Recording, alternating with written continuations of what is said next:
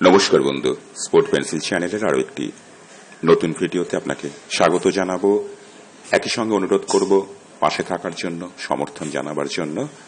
ভিডিওর নিচে থাকা সাবস্ক্রাইবার বাটনটি প্রেস করলেই আপনি হয়ে যাবেন অসংখ্য ইস্টবেঙ্গল সমর্থকের মতো স্পোর্ট পেন্সিল চ্যানেলের একজন গুরুত্বপূর্ণ সদস্য। তাহলে আর দেরি করবেন না, চ্যানেলটিকে সাবস্ক্রাইব অতি অবশ্যই করবেন, এই অনুরোধ রইল। এবং একই সঙ্গে মন থেকে প্রাণ ভরে আমরা একটা কথাই বলব, জয় ইস্ট বেঙ্গল আমার ভিডিওর কমেন্ট সেকশনে কমেন্ট বক্সে জয় ইস্ট বেঙ্গল কথাটা লিখতে আশা করি আপনি যদি একজন ইস্ট বেঙ্গল সমর্থক হন, তাহলে ভুল করবেন না। কমেন্ট বক্স ভরে উঠুক শুধু জয় ইস্ট বেঙ্গল ধ্বনিতে। ঈশান পান্ডে তাকে নিয়ে দুর্দান্ত আপডেট যাবতীয় জল্পনা কল্পনার অবসান হয়ে গেছে। আসছি সে প্রসঙ্গে, তার আগে যে খবরটা দেব, যে গতকাল লিগ ম্যাচে আমরা নিশু কুমারকে খেলতে দেখলাম। কিন্তু লাল কার্ড দেখার কারণে আগামী শনিবার ডার্বি ম্যাচে তিনি থাকবেন না। তাকে রেখেই কিন্তু কোচ কার্লোস কোয়াত্তার ডার্বির ভাবনা ভেবেছিল। কিন্তু হঠাৎ করে লাল কার্ড দেখাতে কোচ কার্লোসকে কিন্তু তার ছকের অদল বদল করতে হবে এবং সব থেকে বড় যে কথাটা, সেটা হচ্ছে যে তার অভাব কিন্তু সেদিন রীতিমতো অনুভূত হবে। তার কারণ গতকালের লিগ ম্যাচে তিনি গোল করেছেন শুধু নয়, যথেষ্ট দায়িত্বশীল ফুটবল তিনি উপহার দিয়েছেন। সেটা একটা দিক, তার পরিবর্তে, মাফ করবেন, আমি রাইট ব্যাক রাইট ব্যাক করে যাচ্ছি লেফট ব্যাক পজিশনের কথাই বলছি। লেফট ব্যাক পজিশনে মন্দারারাও দেশাইকেই আমরা ডার্বি ম্যাচে খেলতে দেখব। টিকিট নিয়ে একটা হয়রানি, সদস্য সমর্থকদের, এমনকি পর্যাপ্ত পরিমাণে টিকিট না পাওয়ায় নিয়ে একটা অচলাবস্থা তৈরি হয়েছিল। ক্রীড়ামন্ত্রীর উপস্থিতিতে ডুরান্ট সংগঠক যারা আছেন এবং তিন প্রধান, মোহনবাগান ইস্টবেঙ্গল মোহামেডানকে নিয়ে মিটিংও হয়েছে। ইস্টবেঙ্গল তাদের কর্মসমিতির বৈঠক শেষে কিন্তু জানিয়ে দিয়েছে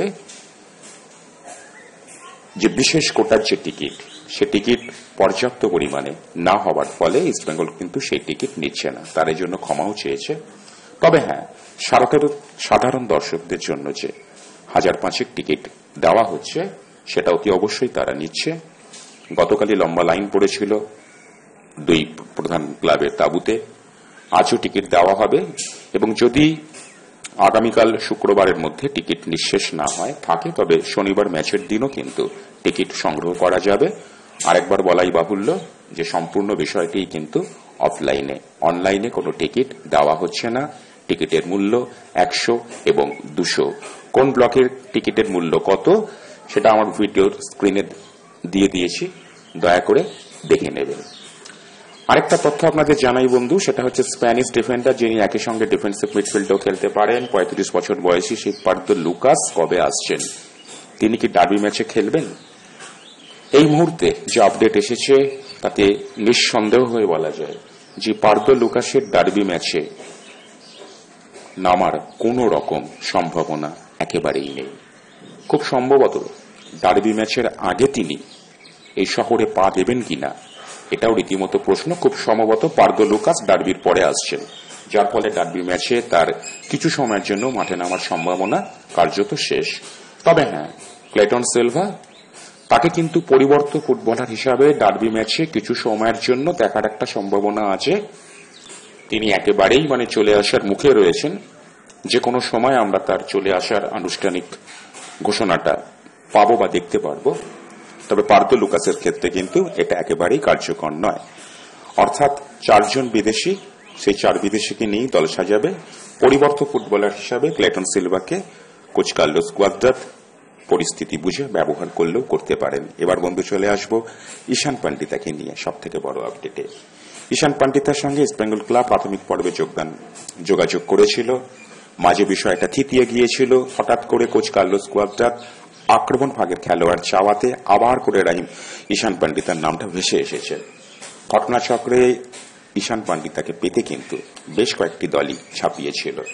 শেষ পর্যন্ত যে সূত্র মারফত খবর, ঈশান পান্ডিতা কিন্তু দক্ষিণের কেরালা ব্লাস্টার ক্লাবে সই করে ফেলেছে। এর আনুষ্ঠানিক কনফার্মেশন আমরা হয়তো দু একদিনের মধ্যেই পেয়ে যাব উইদিন দিস উইক।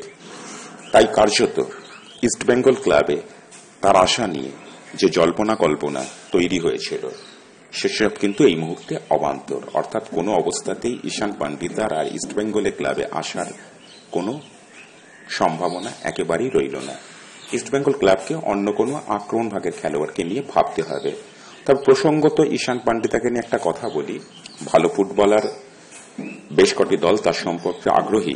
তারপরেও একেবারে ট্রান্সফার উইন্ডো বন্ধের শেষ পর্বে এসে গেছি। এ মাসের শেষ দিকে ট্রান্সফার উইন্ডো বন্ধ হয়ে যাবে শেষ দিন। এখনও পর্যন্ত তিনি কেন ফ্রি ফুটবলার আছেন সেটাও কিন্তু একটা প্রশ্ন। কোন সূত্র মারফত জানা যাচ্ছে কানো ঘুষয়ে তিনি তার হয়তো কোনো চোট আছে। যদিও এ বিষয়ে কোনো অফিসিয়াল বিবৃতি এখনও পাওয়া যায়নি। সে যাই হোক না কেন, ঈশান পান্ডিতা এলে ইস্টবেঙ্গল ক্লাব নিঃসন্দেহে শক্তিশালী হতো, কিন্তু সে সম্ভাবনা আর রইলই না। তিনি চলে গেছেন অন্য দলে।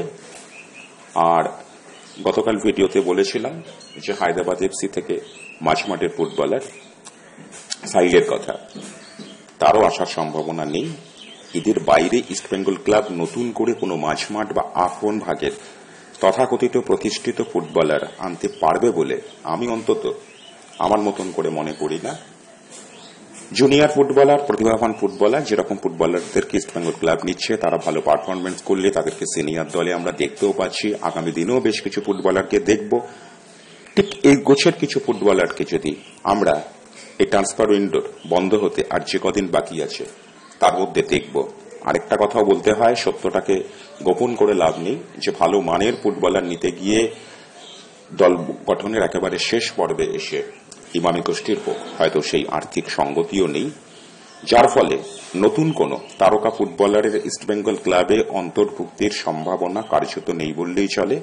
যে ফুটবলারদের আমরা দেখতে পেয়েছি, যারা ডুরান্ডে নথিভুক্ত হয়েছে, বা রিজার্ভ দলে যে বা যারা আছে, তাদের মধ্য থেকেই কিন্তু ইস্টবেঙ্গল এ মরশুমে খেলবে। ধন্যবাদ, বন্ধু।